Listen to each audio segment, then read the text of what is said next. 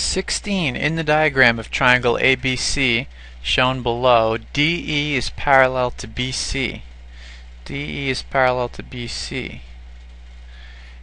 So what does that mean? If uh, if those if those are parallel, then what's going to happen is triangle ADE is going to be similar to triangle ABC, right? Because if they're parallel, this angle is corresponding with this angle and this angle is corresponding with this angle. And of course they share angle A so you can see right off the bat these are going to be similar triangles. Okay so if AB is 10 so AB is the full length of this side. That's not straight. Okay and AD is 8 so that's just from here to here and AE is 12. What is the length of EC? So EC is just this bit here.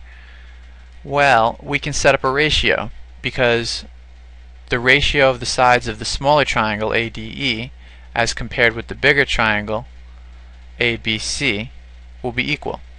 So we could say this 8 is to this 10 8 is the side of the smaller triangle compared to 10 which is the side of the larger triangle is equal to this 12 the side of the larger triangle compared to the full length of that bigger triangle which is AC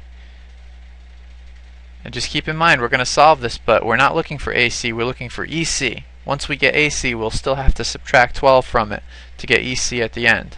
So whenever you set these things up remember to uh, just think through the whole problem, make sure you're answering the question they asked at the end. Okay, so this is, we can cross multiply here. So 8 times AC equals 10 times 12, which is 120. So AC equals 120 over 8, which is 15. So if this whole thing is 15, then EC must be 15 minus 12, which is 3. So EC is 3.